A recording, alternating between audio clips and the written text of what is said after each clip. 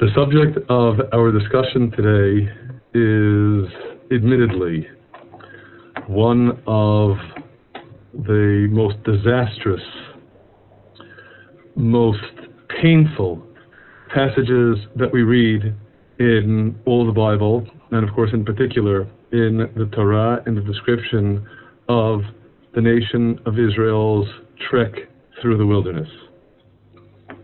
Het onderwerp wat we vanavond gaan bespreken is een uh, triest onderwerp, een uh, absoluut dieptepunt in uh, eigenlijk in de hele Bijbel, maar specifiek natuurlijk in de Torah. En dan hebben we het over het verhaal van de verspieders. And speaking, of course, in particular of the sin of the spies.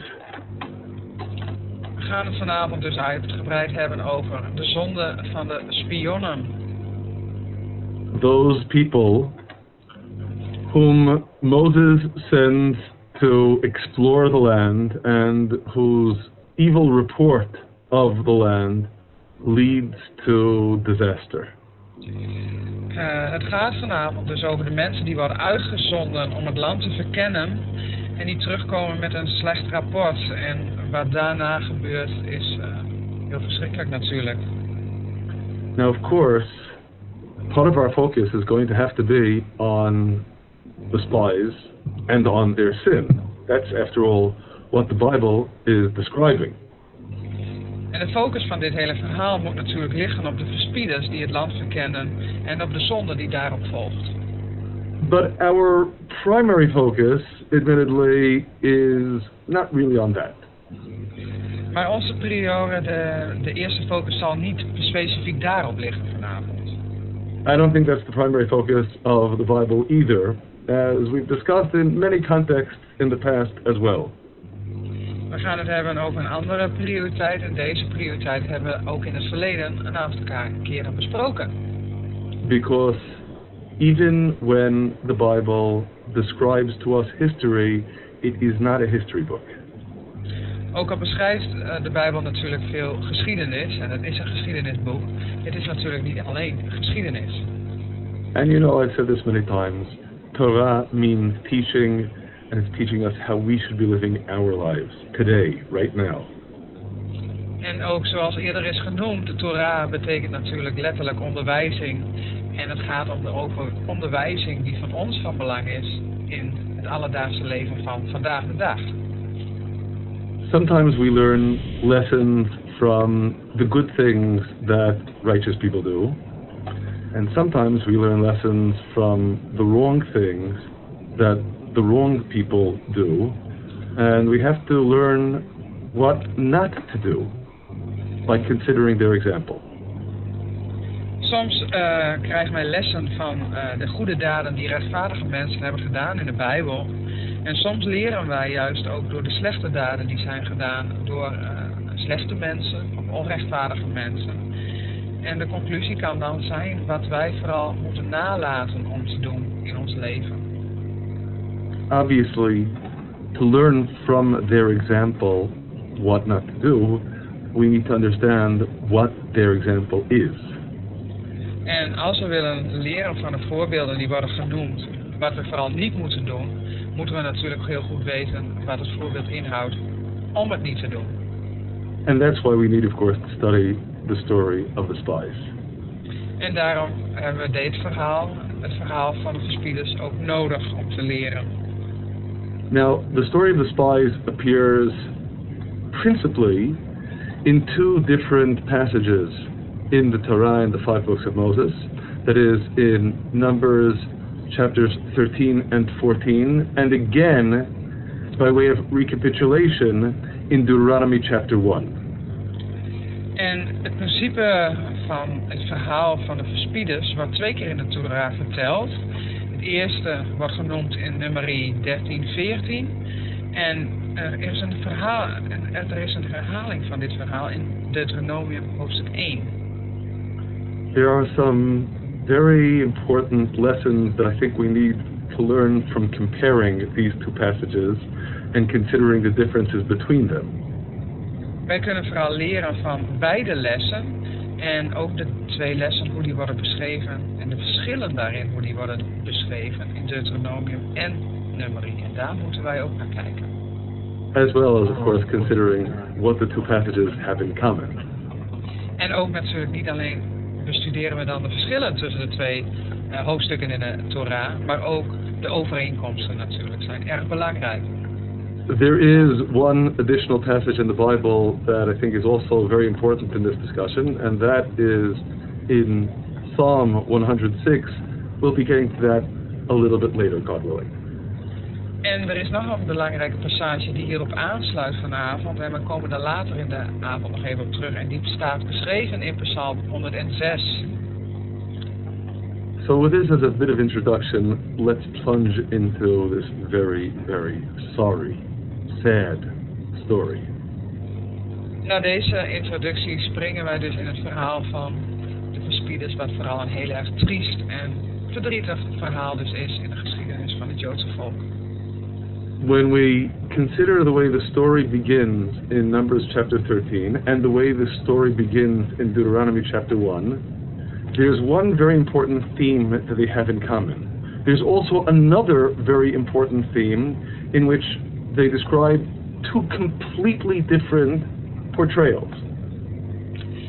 En we gaan kijken naar Deuteronomie 1 en in nummerie 13 hoe het verhaal wordt beschreven. En er is een heel belangrijk detail wat genoemd, wat uh, overeenkomstig is, maar ook wat heel erg verschillend is. En daar gaan we nu even naar kijken. Numbers chapter 13, verse 1. And God spoke unto Moses, saying, and of course in verse 2, the content of that statement, Send you men that they may spy out the land of Canaan, which I give unto the children of Israel, of every tribe of their fathers, shall you send a man, every one a prince among them. En wat beschreven staat in nummer 13 vers 1, ik lees uit de in de G-vertaling van 51. De Heere sprak tot Mozes, zend mannen uit om het land Canaan te verspieden, dat ik de Israëlieten geven zal. Telkens één man zult gij zenden, als vertegenwoordiger van de stam zijn vaderen, al een vorsten onder hen. And in verse 3, Moses sent them from the wilderness of Paran according to the commandment of God, all of them men who were heads of the children of Israel. Vers 3 luidt dan: Toen zond Mozes hen heen uit de woestijn Paran, naar het bevel des Heren. Al die mannen waren hoofden der Israëlieten. In Deuteronomy chapter 1, and you came near to me, every one of you, and said, Let us send men before us that they may search out the land for us, and bring us back word of the way by which we must go up, and the cities unto which we shall come. Anders lezen wij in Deuteronomium hoofdstuk 1 vers 22. Toen nadert gij allen tot mij en zeidet, laten wij enige mannen vooruitzenden om voor ons het land te verkennen en ons in te lichten omtrent de weg waarlangs wij moeten optrekken en over de steden die wij zullen bereiken. And in verse 23, the thing pleased me well, and I took 12 men of you, one man for every tribe. Vers 23 luidt: Dit nu was goed in mijn ogen, dus koos ik u uit, koos ik uit u twaalf mannen voor elke stam één. So, first to consider what these two descriptions have in common. Eerst gaan we kijken en ons afvragen wat hebben deze twee beschrijvingen met elkaar te maken? Wat is overeenkomstig? They obviously have a lot that differs, but they have something very important in common. Er zijn heel veel verschillen, maar ze hebben een heel belangrijke overeenkomst. What I'm referring to is the manner in which these individuals are described. And here, once again, we need to consider the original Hebrew in order to appreciate the message. En we gaan heel goed naar deze twee uh, beschrijvingen kijken. En wat dan ons helpt is terug te gaan naar de originele tekst in het Hebreeuws. Wat soms verrassende uitkomsten laat zien en wat in onze vertalingen soms minder goed naar voren komt. they are described repeatedly as, in the Hebrew, anashim. Anashim in Deuteronomy as well, anashim. Now, anashim is one of the words in biblical Hebrew that we would translate as men. Het eerste wat opvalt en wat een belangrijke overeenkomst is, ook in de Hebreeuwse grondtekst, is dat voor het woord uh, wat voor ons wordt vertaald als mannen, anashim wordt gegeven. En dat is dezelfde, hetzelfde komt dus voor in Deuteronomium als in Numeri. Allebei wordt anashim gebruikt in de grondtekst.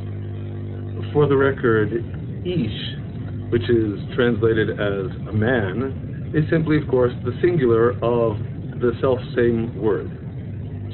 En ook zien we terug in beide, en daar staat het woord ish beschreven, en dat wordt beschreven als een man, een enkel persoon. But there are other words that we would translate as man, men, and this is the word that is used exclusively in describing these individuals in both narratives. Maar er is nog een andere omschrijving uh, die wordt gegeven. En deze wordt dus ook in beide contexten uh, uitgediept. En daar gaan we nu naar kijken, verderop, om het te verduidelijken. What in particular is the connotation of ish of anashim?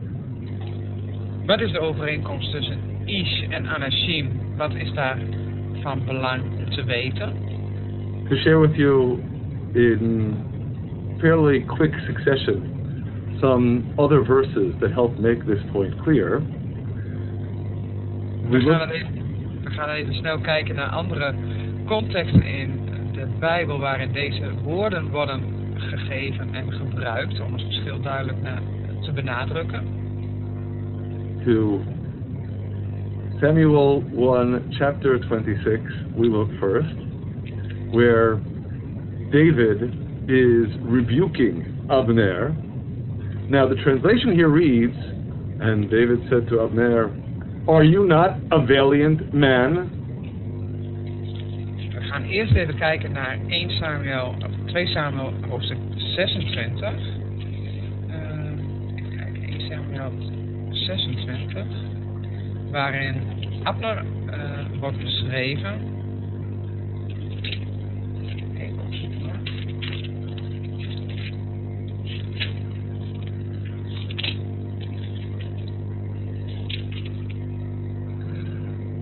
Which verse? 26 verse 26 15. verse 15, yes.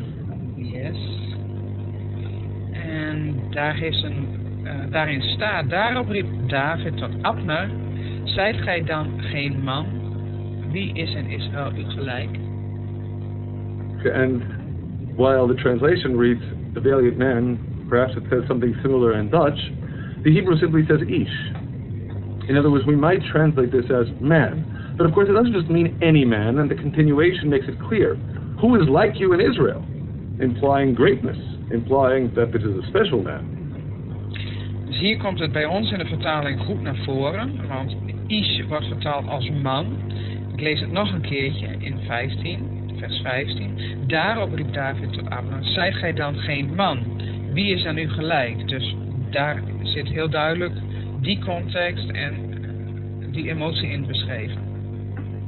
in the next two examples from Psalms, the contrast is even more explicit between Ish as a word for man that implies greatness and Adam that implies relative lowliness, plainness, as in Psalm 49, verse 3. The English reads it as both low and high rich and poor together. In the Hebrew, it's Bnei Adam, the people who are Adam, which is rendered, of course, as low, and Bnei Ish, the people who are Ish, implying highness, greatness. Dus de beschrijving van Ish wordt dus ook nog weergegeven in Psalm 49, vers 3. En een Ish staat dus als het vertaald wordt als is, als man, heeft dat dus ook met een belangrijkheid en met een grootheid te maken dan uh, wie je dus echt bent. En als we dan even kijken naar uh, vers 3, Psalm 49, vers 3. Zowel geringen als aanzienlijken, rijken en armen tezamen. De ene keer wordt er in de grondtekst genoemd uh, Bene Adam. En dat staat voor een lager niveau. En de andere keer staat daar Bene Is. En dus Is weer als man. En dat gaat om een hoger niveau. Hoge vertaling, wie je dan ook echt bent. We find the same contrast without going into excessive detail here in Psalm 62, verse 10, again, men of low degree versus men of high degree, which is simply a translation of Adam versus Ish. And we can note additional examples where Adam likewise implies lowness, such as Psalm 82, verse 7, Isaiah chapter 2, verse 22. We're not going to belabor this point. It's sufficient for us to appreciate. Ish signifies greatness. andere voor, uh, de andere plaatsen zijn dus even genoemd, waar dus ook nog vergelijkbare versen staan, waar het gaat de ene keer om Is, in vergelijking met Adam, van een hoger of van een lager niveau. Maar het verhaal is denk ik voor iedereen duidelijk dat met Is altijd iets groters wordt bedoeld. Aanzienlijkheid, dus een aanzienlijke man. Het heeft met betrekking met je innerlijk te maken en met de standaard. Now, you might well argue that this proof was completely unnecessary because we read explicitly in Numbers chapter 13, verse 2, everyone a prince among them. In verse 3, men who were heads of the children of Israel. So obviously they were great men. De vertaling laat dus ook zien, als we teruggaan naar nummer 13, de ene keer wordt zelfs ook in de context ook genoemd, allen vorsten onder Wij lezen dat in vers 2. En ook weer verder op dat al die mannen waren hoofden der Israël. Daar zie je dus al ook in staan dat het om mannen gaat van aanzien, belangrijke mannen. Wat we net hebben besproken inderdaad, uh, nummer 13, 1 tot en met 3 wordt dus specifiek gezegd. Hierin kunnen we ook al zien dat het om mannen van belang gaat, omdat de ene keer worden ze vorsten van het volk gezet en de andere keer hoofden van de kinderen van Israël. but I'm still stressing this point in particular because if our understanding of the connotation of ish, of anashim, is correct, we aren't merely speaking of leaders in some mundane secular sense. We're speaking of great men. Men, then, who should have been able to do an admirable job in this mission. Dus terugkomend op beide dus, in Nummerie, maar ook in Deuteronomium. Dit, we moeten ons realiseren dus dat het hier betrekkelijk echt gaat om mannen van aanzien. Mannen die gevraagd worden om dit te gaan doen. En die dus ook ja, de inhoud hebben om deze taak op zich te nemen. Het zijn niet de eerste en de beste mannen die deze job op zich nemen. And this observation, of course, is especially important for what is, after all, our mission. to learn from what happened. If they would simply have been bad people from the start, lowly, terrible individuals, then there really wouldn't be that much to learn. All we would have to say is, don't be bad. But these weren't people who started off bad. And considering how they went off track, how they went astray, is going to be critical for us. Dus de les die hier dan ook voor ons helemaal beschreven staat, is als we ons goed realiseren dat het mannen van aanzien waren, met belangrijke inhoud, uh, geschikt voor de taak, en niet gewoon mannen waren die ook al, uh, dat zie je dus inderdaad in het woord als ook terugkomen in de is, in de grondtekst, dat het niet gewoon uh, gewone mensen waren, dat je zegt, nou ja, daar kun je nog van begrijpen, maar juist omdat zij zijn afgeweken van hun van wie zij ook waren en, en echt van de standaard. Daar kunnen we eerst dus van leren van hoe is het mogelijk dat dit is gebeurd, omdat het juist omdat het zulke belangrijke mensen waren. And maybe the fact that what went wrong here is subtle. Not something that's so obvious, something that was so bad from the start.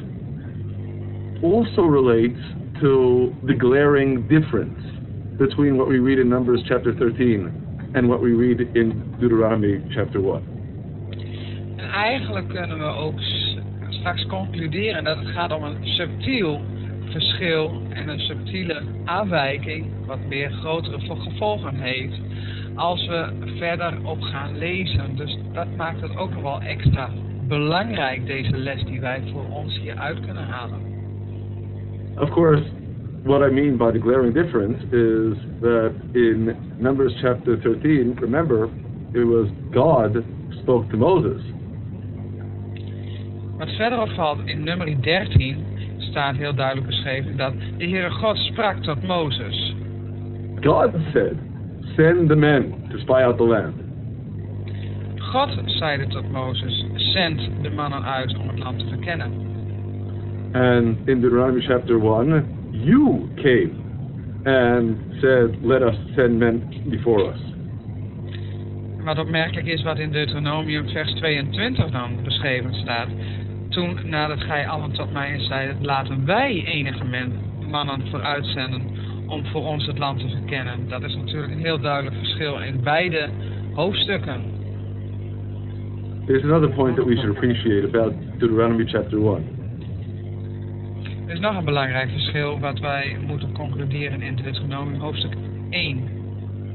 The whole agenda of Moses in Deuteronomy chapter 1, in these verses, is rebuke.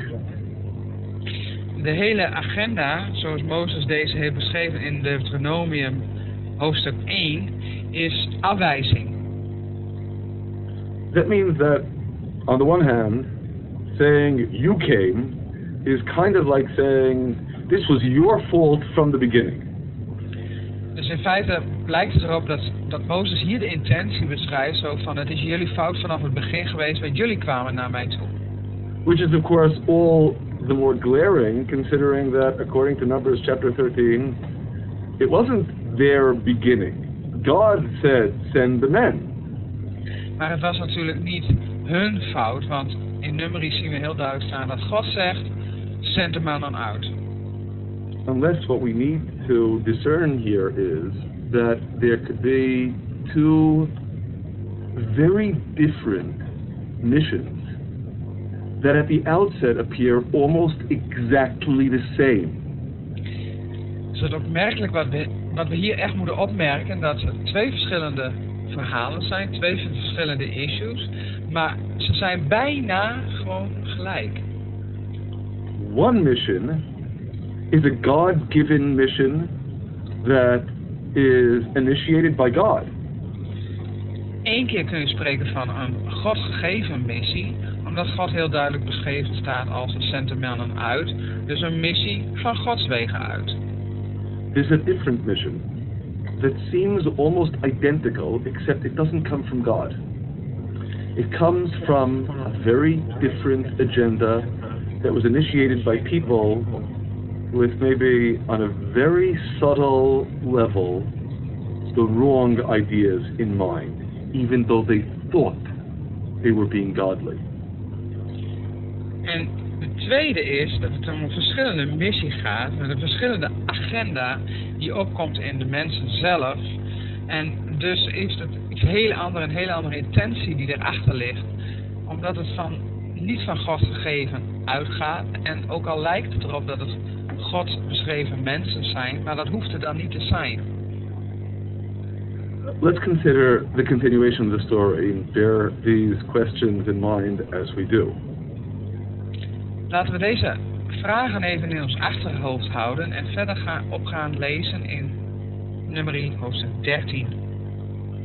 In the continuation of Numbers chapter 13, Moses sends the spies to spy out the land of Canaan and gives them a list of questions to explore, see what the land is and the people and the cities and so on. En vanaf vers 17 zien we dan staan dat Mozes dan zond hen uit om het land Canaan te verspieden met een aantal specifieke opdrachten die verderop worden beschreven.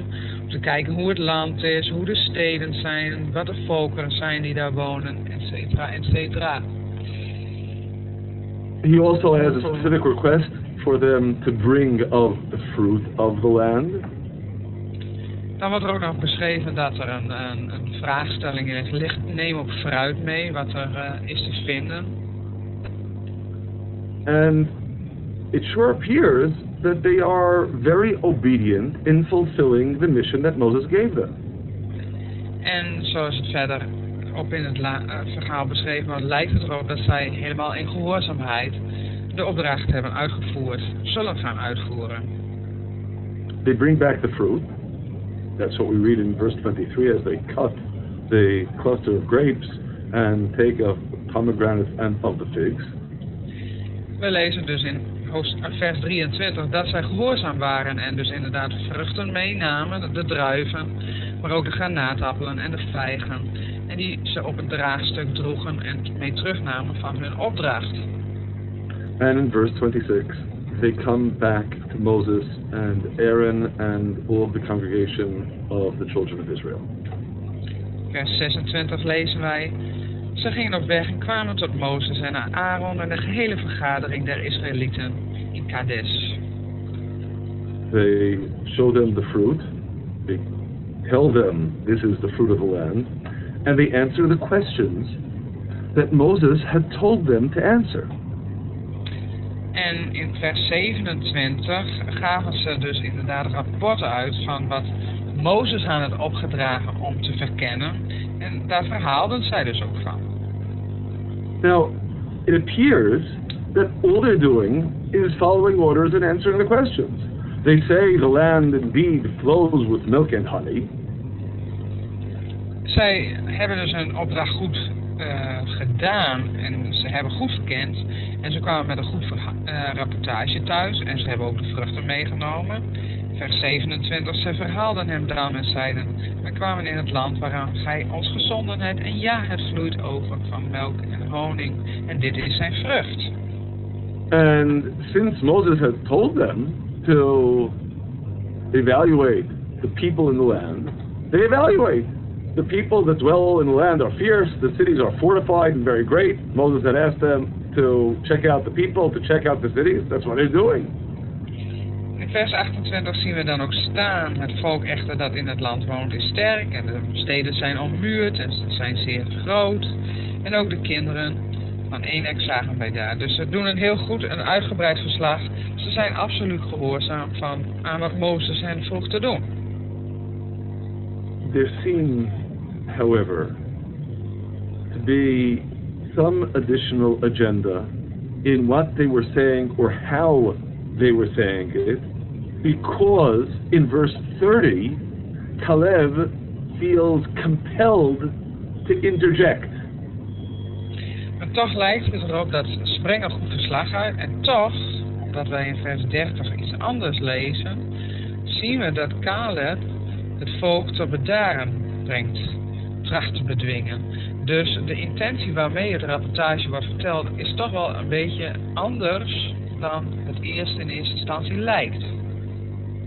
And Caleb stilled the people toward Moses and said we should go up at once and possess it, for we are well able to overcome it. That's not the message the other spies were conveying, as it becomes clear in the following verse. Dus hoe de boodschap werd gebracht is heel duidelijk te lezen in vers 30, omdat de reactie van Caleb zo is. Daarop trachtte Caleb het volk tot bedaren te dwingen, te brengen tegenover Mozes en zeiden, laat ons gerust optrekken en het in bezit nemen, want wij zullen het zeker kunnen vermeesteren.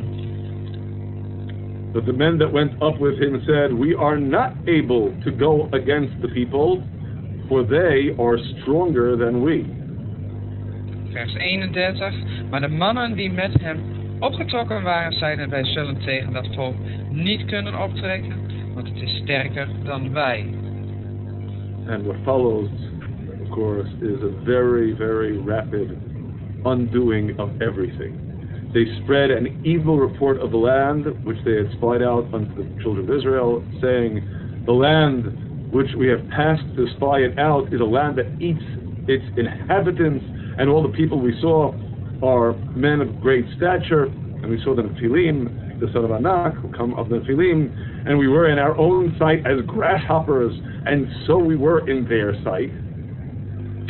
Wat dan volgt is natuurlijk een erg tragische wending, wat nog meer diepgang en ja, dat wat echt tot een dieptepunt wordt geleid, omdat er juist een kwaad gerucht ook wordt verspreid onder het volk. Een absolute leugen. Vanaf vers 32 lezen wij dan. Ook verspreiden zij onder de Israëlieten een kwaad gerucht het land, land dat zij verspied hadden, door te zeggen het land dat wij zijn doortrokken om het te verspieden is een land dat zijn inwoners verslindt. En alle mensen die wij daar zagen waren mannen van grote lengte. Ook zagen wij daar de reuzen, de Enakieten, die tot de reuzen behoren. En wij waren als sprinkhanen in, in onze eigen ogen en ook in hun ogen. So, of course, with that, the people don't need to hear anymore.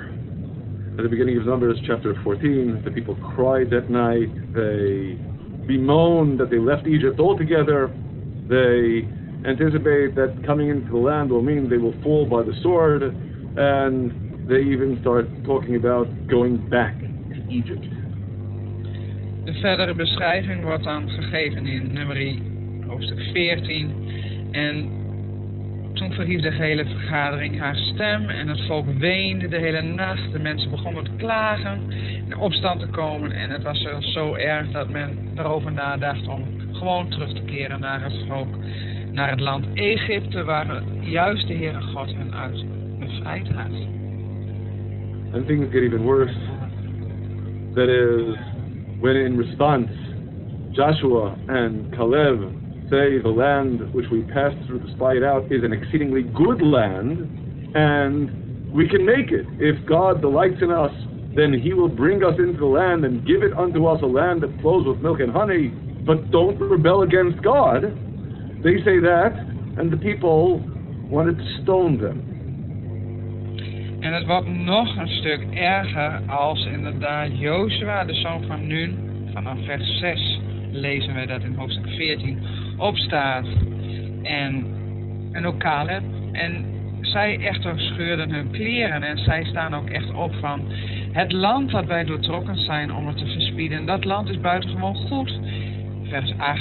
Indien de Heere welgevallen aan ons heeft, dan zal hij ons in dit land dan zal hij ons in dit land brengen en het ons geven, een land dat vloeit van melk en honing. Vers 9 is erg belangrijk. Alleen wees dan niet opstandig tegen de Heer en gij vreest het volk van het land niet, want wij zijn, zij zijn ons tot spijs, hun schaduw is van hun geweken. En de Heer is met ons, vrees dan niet.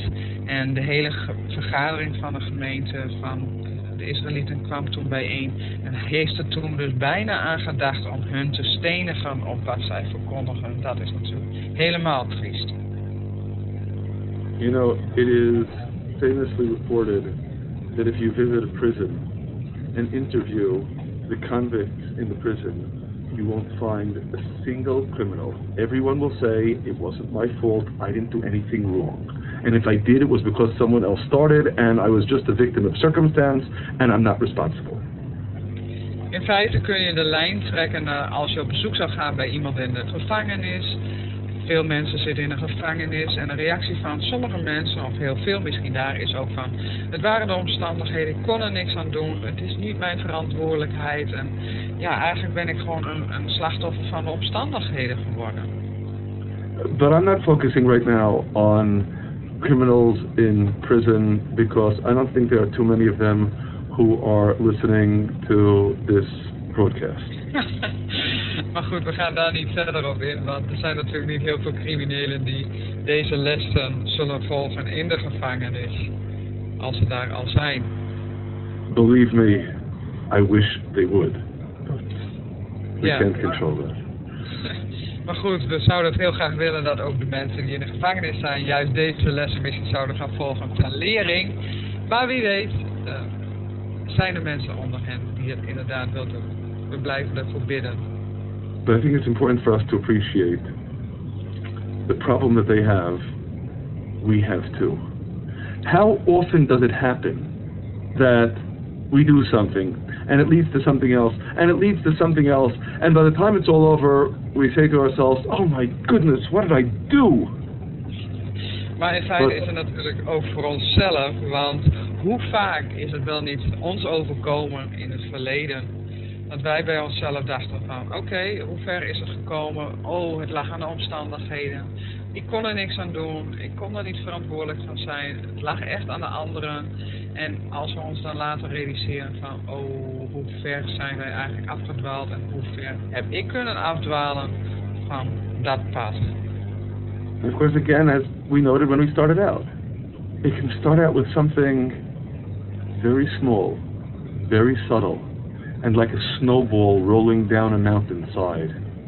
It gets bigger and bigger and bigger, and eventually one completely loses control over where it's heading and what happened to it.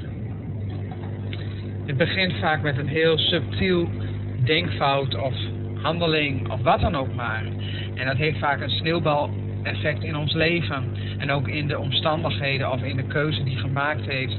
En dat leidt vaak tot heel iets groots. En daar kunnen wij voor onszelf de lessen uit trekken. Similarly, and maybe even more glaringly in Deuteronomy chapter 1. We gaan kijken naar Deuteronomie hoofdstuk 1, waar dit nog verder naar voren komt. Als les voor ons dus ook. What Moses says to people, recalling what had happened around 39 years earlier, was the spies took us through the land, they brought it down to us, and they brought back word and said, The land is good. Good is the land that God our Lord is giving to us. In Deuteronomium zien wij dat Mozes een verslag doet wat uh, 39, 40 jaar daarvoor zich heeft afgespeeld. In vers 25 van het eerste hoofdstuk lezen wij: Ook namen zij de vruchten van het land mee en brachten ons die. Tevens brachten zij ons verslag uit en zeiden: Het land dat de Heer onze God ons gegeven is, zal is goed. Well, of course, this is a good example of what seems to us to be glaring difference between Numbers chapter 13 and Deuteronomy chapter 1. What all they said was, Good is the land that God our Lord is giving to us. Dus hier zien we dus een belangrijk detail tussen nummer 13 en Deuteronomium. Want was het zo inderdaad dat iedereen zei van ja, het land dat de Heer onze God geven zal is goed. So of course we could say that maybe at the level of Moses, that's all he heard. They did after all say that the land flows with milk and honey. They just said a lot of other things as well. And maybe on Moses' level, those other things they said didn't even penetrate. En misschien is het inderdaad Mozes zijn uh, niveau geweest, hoe hij het geïnterpreteerd heeft. Hier wordt beschreven, of wordt dan beschreven van iedereen die kwam terug, heel enthousiast en beschreven, ja, het, het land is fantastisch en loopt over van melk en honing. Maar misschien was dat inderdaad datgene wat Mozes het eerste en het hoogste is bijgebleven en voorop staat in zijn gedachten. En het andere is wat ondergeschoven, maar is er natuurlijk ook geweest. In het begin en ook op het laatst. But I suspect that what Moses is saying in Deuteronomy chapter 1 is part of the same issue that we just already noticed in Numbers chapter 13. Maar de issue die dus inderdaad speelt is hetzelfde uh, tussen nummer 13 en in Deuteronomie 1 bespreken. En zoals Mozes dus terugkijkt in al die jaren die dus als achter hem liggen na dit hele gebeuren. Sin starts out small, starts out subtle, so innocent, you don't even see that anything was done that was wrong. Zonde begint vaak heel subtiel, zonder dat je soms even doorhebt dat het echt ook een zonde is. Het is heel subtiel, de intentie kan zelfs goed zijn. It can start out with nothing more than good is the land that God our Lord is giving to us, and it ends up with, in verse 26, you rebelled against the commandment of God your Lord. Het kan zo goed beginnen, zelfs een zonde, dat het bijvoorbeeld zegt van ja, het land dat de Heer, de God ons geven wil, is fantastisch, is heel erg goed. Maar vers 26 eindigt dan, maar gij wilde niet optrekken en waar weerspannig tegen het bevel van de Heere uw God. It gets even worse. In verse 27, because God hated us, he brought us forth out of the land of Egypt to deliver us into the hands of the Amorites to destroy us. Het was zelfs nog erger beschreven in vers 27. Gij mordet in uw tenten en zeiden, omdat de Heer ons haat, heeft hij ons uit het land Egypte geleid om ons te brengen in de macht van de Amorieten, om ons te verdelgen. Dat is natuurlijk een absolute leugen. Because God hated us? But are you serious? Isn't this so ridiculous an argument that everyone could transparently see? It's absurd that everything that took place, the, the blessings, the bounty, everything was because God hates you? That's crazy. Natuurlijk belachelijk om dat te suggereren en dat naar voren te brengen. Daarom wordt het hier ook expliciet zo neergezet. Want het is natuurlijk belachelijk om te denken dat de Heer hun zal haten op dat moment. Na alle zegeningen, na alles wat hij heeft gedaan, hoe hij heeft uitgeleid uit Egypte. Na alle openbaringen die hij heeft gegeven, ook van zichzelf, door het woord te geven. Dat is natuurlijk belachelijk om dat naar voren te brengen, dat God hun zal haten. So we have a saying with respect to this statement that what's in your heart with respect to your friend is what you say is in your friend's heart with respect to you. Dus met respect, je moet altijd heel erg goed kijken van wat in je hart is en je wil overbrengen naar je andere vriend. Dat wordt in het hart ontvangen en hij reageert ook van het hart. Wat in zijn hart is, naar jou toe terug. Met alle respect. To translate that here, that means you're saying God hates you because you hate God. Dus om dat goed even te interpreteren, hoe dat hier wordt neergezet. Jij zegt van God haat ons. Um, en gaat ervan uit dat het ook zo is. Maar dat hoeft natuurlijk niet te zijn. Want het kan natuurlijk ook een leugen zijn. Maar jij reageert, jij reageert vanuit je hart. Omdat is, dat is wat in je hart leeft. So again, it starts off so innocently and it ends up rebelling against God's commandment and then hating God. Dus het begint heel subtiel met een kleine zonde, lijkt het. En dan, wordt, dan volgt er iets van uh, rebelleren tegen God. En het eindigt met de veronderstelling en de overtuiging dat God hen haat. And Moses tries to appeal to their sense. Moses, like Joshua and Caleb do as well in Numbers chapter 13, that God, who's going before you, will fight for you. Don't worry. Don't be afraid. En dat wordt in nummer 13 ook beschreven. En dat zien we hier dus ook beschreven in 29, 30, 31. Ik zei nog wel tot u, beef niet, vrees niet voor hen. De Heer uw God, die, gaat voor u uit. Hij zal voor u strijden in overeenstemmig met alles wat hij voor uw ogen met u gedaan heeft in Egypte en in de woestijn. En ook Joshua valt daarin mee dat inderdaad dat zij opkomen voor de Heere God van wees niet bang, het komt allemaal goed. And in verse 31, kind of a reality check. Think what's going on in the wilderness where you have seen how God, your Lord, bore you as a man bears his son in all the way that you went until you came into this place. Look what God's doing for you. What are you doing? Vers 31, en in de woestijn, waar gij het hebt gezien, hoe de Heer uw God u droeg, zoals een man zijn kind draagt, op heel de weg die gij gegaan zijt, totdat gij op deze plaats gekomen zijt. Dus hoe kun je dan zeggen, hoe kun je zo ver komen dat, dat je dan zegt van God haat je? Maar dat is natuurlijk vrij recent gebeurd, de wildernis, maar die ligt nog maar net achter hem. And of course it doesn't happen. And the destiny of Israel and the world is changed. En dat is natuurlijk in dit stuk beschreven dat uh, de bestemming en hun wereld, zoals toen werd gezegd door de, wat er werd gezegd door de verspieders, compleet is veranderd. But why don't they listen? What happened? How is it that from something that seems so, so innocent, so innocuous, what results is something so terrible? Nou, hoe kan het dat een opdracht die wordt gegeven en die wordt goed verbracht, hè, ze zijn het hele land doorgebracht, hoe kan dat eindigen in zo'n grote zonde? There's one additional passage that we need to consider here, and that we already noted is Psalm 106.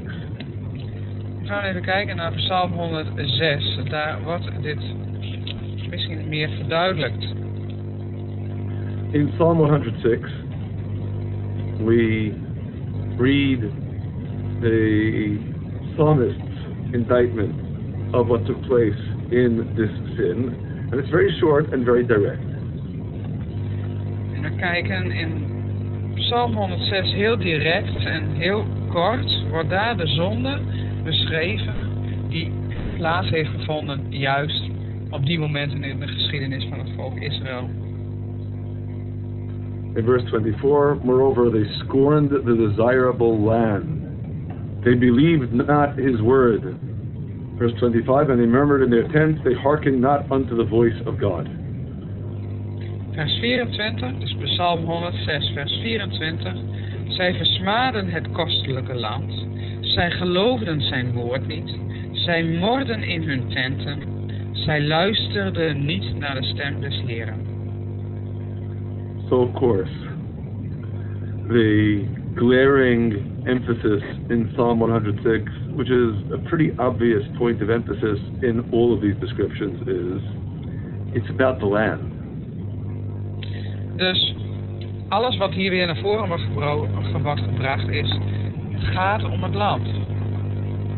Now, mind you, we still haven't explained what about the land, but it's important for us to appreciate the land is very, very important in God's mission. En wat van belang is om heel goed in gedachten te houden, dat het land, dus het land wat God voor ogen heeft, ontzettend belangrijk is in Gods ogen, om dat ook hun te geven, omdat het Gods land is, zijn belofte. Just consider in Exodus chapter 3, at the very beginning of the mission, God is speaking to Moses at the burning bush. And what's the mission as expressed in verse 8?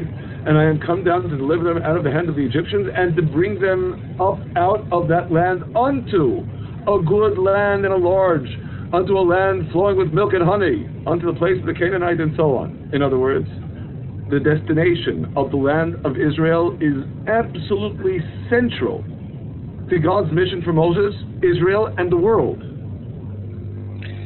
Het begint natuurlijk al in Exodus uh, hoofdstuk 3, vers 8, waarin ook God wordt gezegd, daarom ben ik nedergedaald om u uit de macht der Egyptenaren te redden en uit dit land te voeren naar een goed en wijd land, een land vloeiende van melk en honing.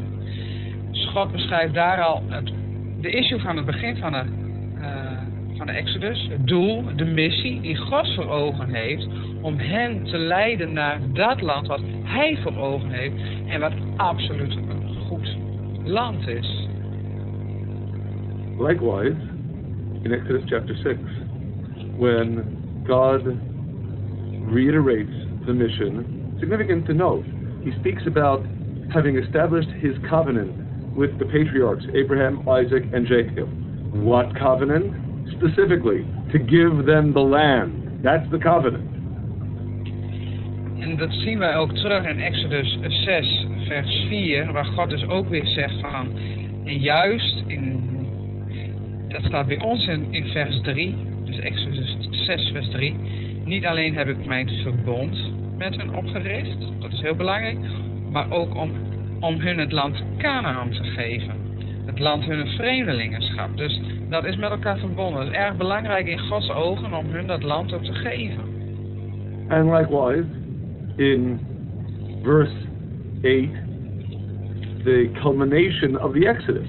I will bring you unto the land, concerning which I lifted up my hand to give it to Abraham, to Isaac, and to Jacob, and I will give it to you for a heritage. I am God. This is the goal. We zien dat verder beschreven staan in vers 7 in onze vertaling. In mijn vertaling staat het in vers 7. Het kan ook in vers 8 staan. Uh, als het een andere vertaling is die jij uh, thuis gebruikt.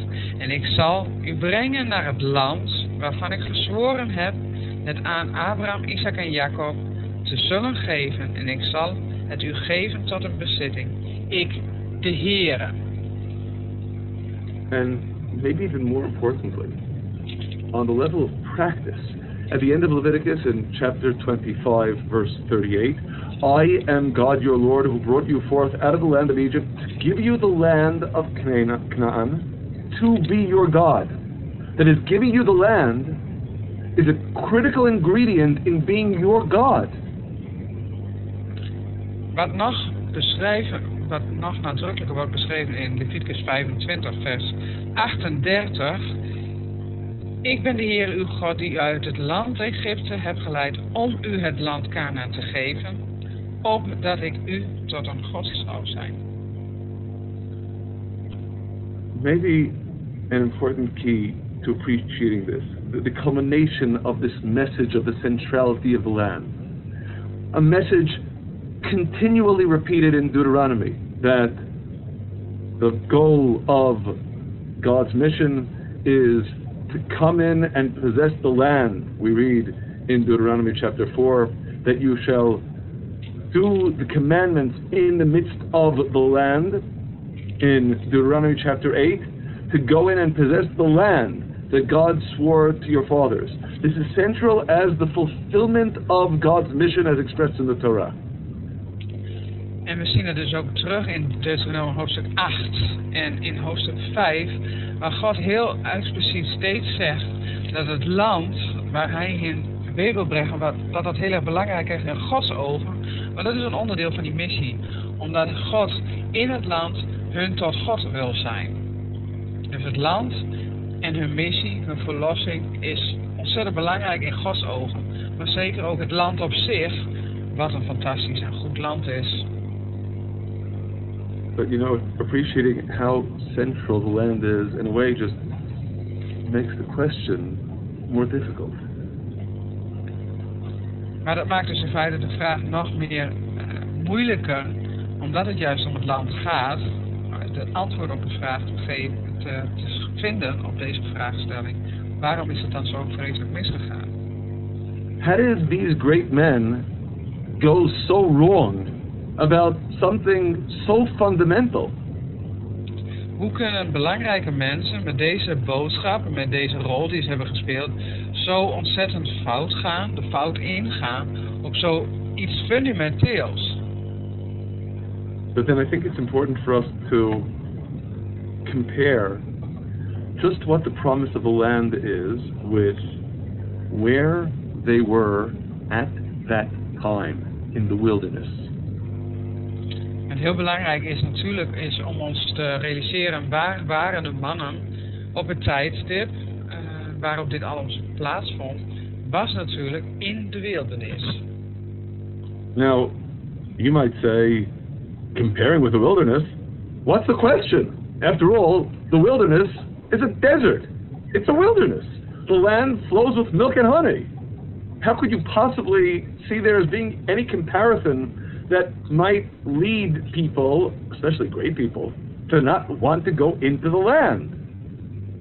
Maar goed, in feite zou je ook kunnen zeggen van, wat is dan eigenlijk het probleem? Want je staat in de wildernis, in de woestijn, absoluut, nou ja, geen land. Je staat op de drempel om het beloofde land in te gaan, wat fantastisch is, vergeleken de woestijn. En het zijn aanzienlijke men, mannen die dat land hebben verkend. Dus wat is eigenlijk het probleem om niet het land in bezit te nemen? My response is maybe it's especially great men who wouldn't see this question as such a simple or obvious one. En misschien ligt juist het antwoord juist hierin dat het juist aanzienlijke mannen zijn geweest, die dus hier simpelerwijs misschien de fout in zijn gegaan. Being in the wilderness means being constantly in the presence of God and His miracles all the time. Als je in de woestijn bent, ben je natuurlijk volledig afhankelijk van de Heere God. En ben je dicht in zijn aanwezigheid. Zie je zijn zegeningen elke dag. En, uh, en zijn aanwezigheid in alles. God feeds you the manna six days a week. In de woestijn word je onderhouden door de Heer God zelf, want hij geeft je manna zes dagen in de week. Your clothing doesn't wear out. Je kleren die je hebt gedragen zijn niet eens vergaan en die worden niet eens versleten. And you are surrounded by clouds for protection. En je wordt omgeven met wolken van bescherming. Your food, your clothing, and your shelter are provided directly by God, miraculously. Je kleren, je bescherming en je voedsel wordt direct verzorgd door de Heere God. In die woestijnperiode. In de woestijn. In summary, in chapter 8 of Deuteronomy, verse 5, and you shall consider in your heart that as a man chastens his son, so God your Lord chastens you. He's taking care of you like a child in the hope that you'll grow up. In Deuteronomie 8 vers 5 lezen wij, Erken dan van harte dat de Heere uw God u vermaant zoals een man zijn zoon vermaant en onderhoudt de geboden van de Heere. Staat er in vers 6. Dus zoals een, een man zorgt voor zijn kind, zo heeft de Heere God zorg gedragen voor de kinderen van Israël in de woestijn. Now you'll be wondering, what does this have to do with the land of Israel? I might wonder that as well, but it becomes clear that it does because that's exactly what Moses goes on to talk about in the continuation of Deuteronomy chapter 8.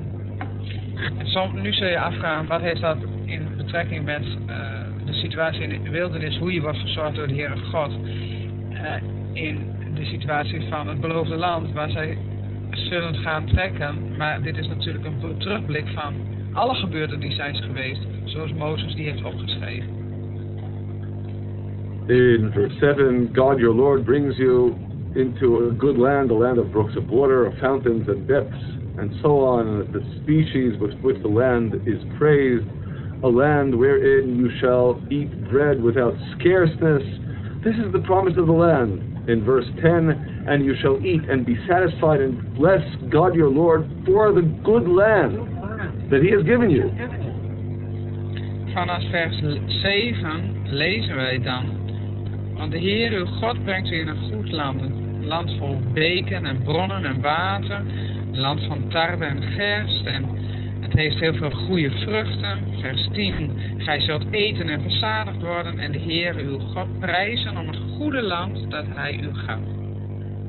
This precisely, exactly, is the goal. To leave the wilderness and come into the land. En dat is natuurlijk het ultieme doel, om uit de wildernis te gaan en tot het ultieme doel te komen, het beloofde land. As a child grows up, the child's parents take care of all the child's needs food, the clothing, the shelter, everything. En zoals met ouders het ook het geval is, ouders groeien uh, het kind op, laten het kind opgroeien en zij verzorgen het kind. Zij zorgen voor eten, voor voedsel, voor onderdak, voor kleding. That's not a final goal. It's means to the child growing up and becoming independent and not continuing to need that instantaneous response to all the child's needs coming from the parents all the time. En dat is natuurlijk niet het ultieme doel om te worden gevoed, maar het doel is natuurlijk om zelfstandig te worden en eigen beslissingen te nemen, om te groeien en om volwassener te worden. Now, with respect to God and Israel in the wilderness, it's more complicated than that.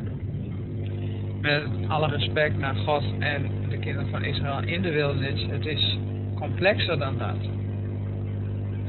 God is providing for Israel through boundless miracles all the time that Israel is in the wilderness.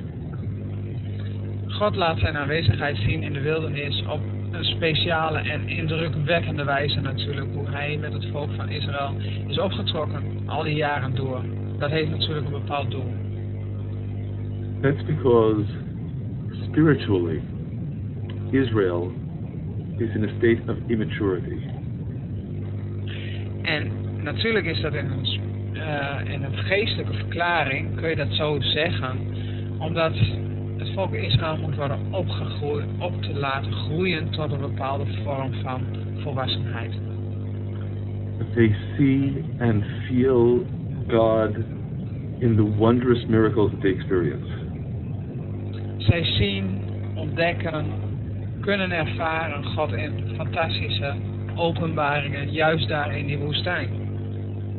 But they aren't ready to see and feel God in the ordinary things in life.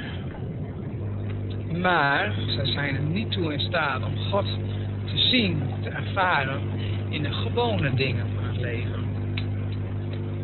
They feel God's presence when manna comes down to them from heaven. Zij voelen Gods aanwezigheid en zien ook natuurlijk letterlijk als zij het manna neer zien komen vanuit de hemel. But you know what the land of Israel is all about? The land of Israel is all about being able to see and feel God's presence when the wheat grows up from the ground, no less than when manna comes down from heaven.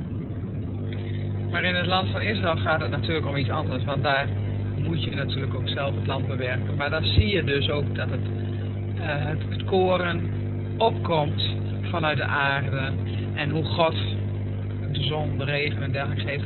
Maar dat is natuurlijk iets anders dan het manna vanuit de hemel zien neerdalen. That's not by any means a lower level than in the wilderness. It's a higher level. Maar het is juist niet een lager niveau, ook geestelijk niet om dit te begrijpen, maar het is juist van een hoger niveau. But it's a tremendous challenge. A much more difficult challenge than when you see God so obviously manifest through the great miracles. Het gaat dus om een heel duidelijk ander niveau. Als God zich openbaart in het manna bijvoorbeeld, om dat elke dag neer te laten uh, komen om jou te voeden in de woestijn, dan is dit natuurlijk iets heel iets anders als je in het beloofde land komt. En het is niet meer zo direct, maar dat je veel zelfstandiger moet zijn in je geloofsleven met de Heere God, dan het heel nadrukkelijk het manna neer zien komen of de graan zien opkomen in de vruchten die daar groeien. Dat is natuurlijk van een totaal ander geestelijk niveau. And maybe that's the challenge that the story of the spies is all about. All about failing. En dat is inderdaad misschien de conclusie die je kan trekken naar het verhaal van de verspieders. Dat het allemaal gaat om, um, om uh, verwachtingen, maar ook om te falen. We need to conclude here, so I'd like to just tie things together to have some idea of where this leads us with respect to the questions that we raised. Dus we gaan nu een beetje afronden en een paar conclusies vormen om dit verhaal duidelijk af te kunnen ronden voor aan ieder van ons. En dat we daar nog even over na kunnen denken, ook voor in de toekomst. Remember the opening divergence between Numbers chapter 13 and Deuteronomy chapter 1. Was it a divine command or was it a human initiative to send the spies? Dus we gaan even terugkijken snel naar nummer 13, Deuteronomie 1. Hoe het begon. Was het een goddelijke opdracht, zoals God die beschreef in nummer 13? Of was het een eigen gedachte om het land te gaan verkennen, zoals in Deuteronomie 1 een beetje naar voren? The answer is it depends on your perspective. Het antwoord is natuurlijk uh, hoe je het bekijkt. From God's perspective, so, so to speak, there is a command to go and spy out the land because now you're growing up as a nation, and even though I am with you, says God, I am guiding you, says God. You're going to do the things that normal nations do. If you're coming into the land, you need to scout out the land, to spy out the land, to see what you need to do as a normal nation. My presence will be with you, but my presence is not going to be through the dramatic miracles that will change the whole picture. It will be on a much more subtle plane so that you'll be able to sense God's hand in nature, in history, in the simple things, in the subtle things. Dus, zoals zij zijn geleid door God in de woestijn en Gods aanwezigheid ongelooflijk hebben ervaren, zo brengt God hen naar, naar het beloofde land met de opdracht om zelfstandig te zijn, net zoals ieder andere natie, en om God te ervaren op een heel ander niveau, door de natuur heen, door het leven heen, door wat God geeft in hun land, op een subtielere wijze. Maar God gaat ervan uit dat hij hun, vanuit Gods visie, heeft doen opgroeien in de woestijn. Hij heeft zijn aanwezigheid getoond en die zal ook aanwezig zijn in het beloofde land. Dus daar hoeven zij nooit aan te twijfelen. It could have been that way. It should have been that way. But by the end of the story, it becomes clear it wasn't that way. Het kon zo gebeuren en het zou ook zo hadden moeten gebeuren, maar de conclusie aan het einde van het verhaal is dat het niet zo gebeurd is. Israel is sending spies with the conception that if they're leaving the wilderness, then they're leaving God, as it were, behind. And now they're on their own. They have to do everything on their own. And it's not that we're following God's command, but let us send men before us, for us, that they may search the land for us. It's all about us, because God is relevant to the miracles back in the wilderness. But we're coming into the land and we're on our own. That's the perception.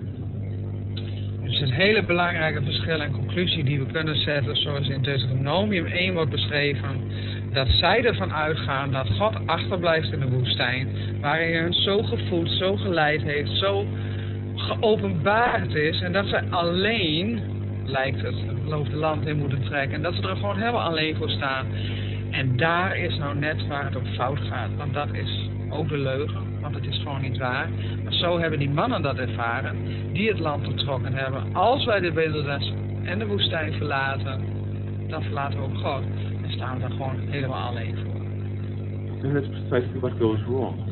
Because when the spies return with their report, on the one hand, they answer the questions that Moses gave them based upon God's command, which should have been fine, except the way they understood the questions and their answers was a completely different way from what God had intended and what the answers should have meant. Dus de intentie waarop alles draait, dat zien we terug ook in nummer 13, vers 27, 28. Dat is de intentie waarmee de mannen terugkwamen, die echt ervan overtuigd waren en die ook een rapport uitbrachten van een fantastisch land, fantastische vruchten bijnamen. Maar de intentie was wel, wij kunnen dit niet innemen. Want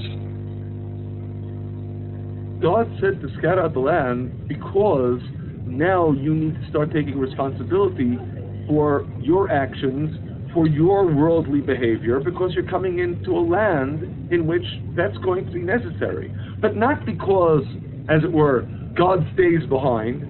God will be there with you all the time, but not doing everything for you, rather behind the scenes, as it were, enabling you to do what you need to do and to succeed in doing what you need to do.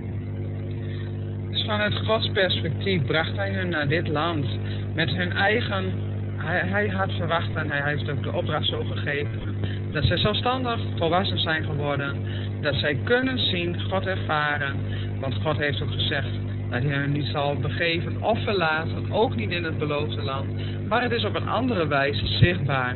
En het is eigenlijk ongeloof van de mannen om daar niet op te vertrouwen. In feite kun je daar de conclusie op stellen. Het is ongeloof tegen God en zijn woord in.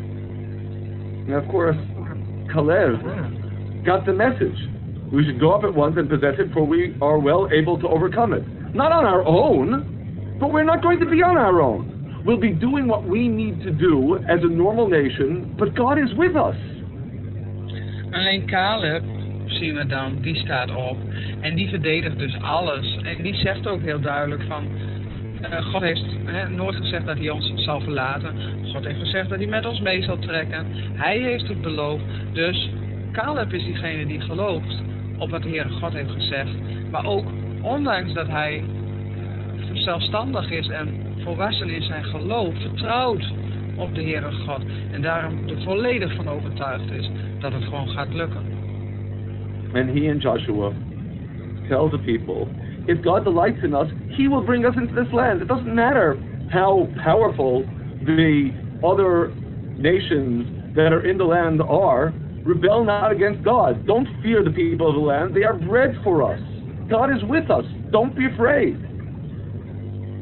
Nummer 14, 8 en 9, vers 8 en 9 zien we dan ook staan dat ook Jozua bijspringt van indien de Heer een welgevallen aan ons heeft, dan zal hij ons dit land brengen en geven, een land dat overvloeit van melk en honing. Alleen wees gij dan ook, eh, wees dan niet opstandig tegen de Heer en vrees het volk van het land niet, want zij zijn tot spijs, hun schaduw is van hun geweken. Daarin, in deze teksten, in deze versen, spreekt het geloof van beide mannen komt dan naar voren. Dat zij volwassen zijn geworden, op God vertrouwen, geloven hebben in, een Heer, in hun Heere God, vertrouwen op zijn woord en gewoon gaan. En durven gaan. And the people's reaction, they want to stone them.